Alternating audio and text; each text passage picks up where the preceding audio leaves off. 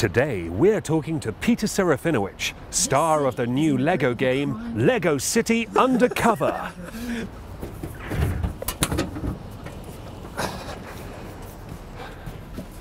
Hi, I'm Peter Serafinowicz, and I'd like to give you my five top tips for doing video game voices.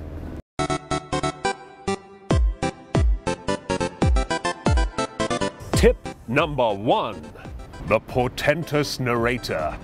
This is a favorite of mine, and what I like to do to get into this voice is to use this. We've all seen one before. It's a bottle of clear milk. But watch, I just take this off, and then using this little blue plastic ring, it makes a perfect monocle substitute. Which really gets me into the mood. I have seen the gates of oblivion, beyond which no human eye can see. Tip number two the annoying computer voice. We all know and love this one, and when I am asked to do it, I usually can't be bothered. So instead, I use my iPhone. Sorry, I didn't get that. Tip number three the gruff action hero. This is a favorite of mine, but it can be quite tricky to pull off an authentically husky tone. So, what I like to do is drink a glass of this gravel.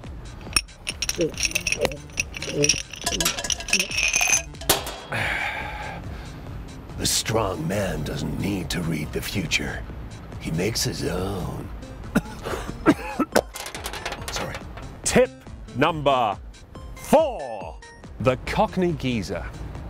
If British people aren't posh, they're Cockney, like Ray Winstone. And to really sound like you're someone from the East End as cast, an old actor's trick is to eat some apples and pears.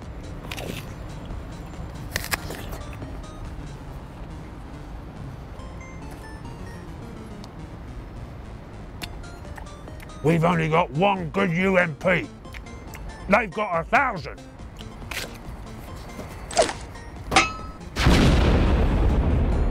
Oh, I'm allergic to pears, but I can cure it with apple. Phew, thanks, apple. Tip number five. Mr. Fighting Game Announcer. I'm a big fan of fighting games like Mortal Kombat and the Street Fighter series. And if I want to do that kind of fighting announcement voice, I just stick on a, an old fighting headband. And I find that not only does it get me into the mood, the voice just comes naturally. Jin Kazama, get ready for the next battle. Fight! Finish him! Ah! Ow. Sorry. Game over.